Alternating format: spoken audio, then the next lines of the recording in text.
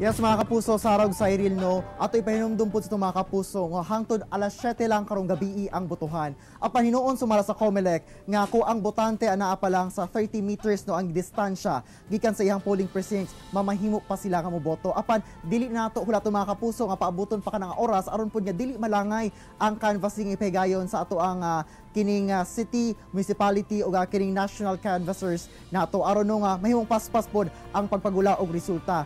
Hi- o ga kaganina no ato na sayran nga dunay mga ginagmayng problema lamang sa ato ang ah, pag-cover dito sa eleksyon diha sa kining Sarangani province partikularmente sa lungsod sa Kiamba hinuon dunay mga ah, wala gidawat nga mga balota hinuon giayo dayon kini sa ilahang mga technical staff o ga wala na nidugay no kay tungod pod taas na kayo ang pila sa kining mga botante sa maong lugar. Busa hinuon no nga kinahanglan jud no nga dili ta magpalangan-langan sa pagboto aron pud no masulbad no ang ah, kining problema nga langan kaayo og madugay ang ato ang canvassing.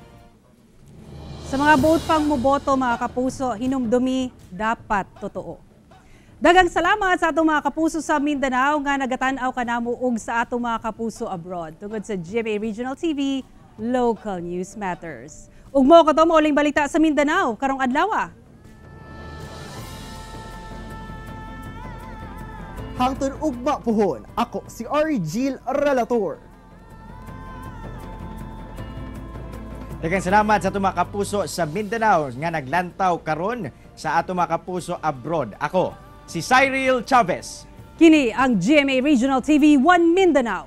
Sara Hilomen Velasco, buong puso para sa Pilipino.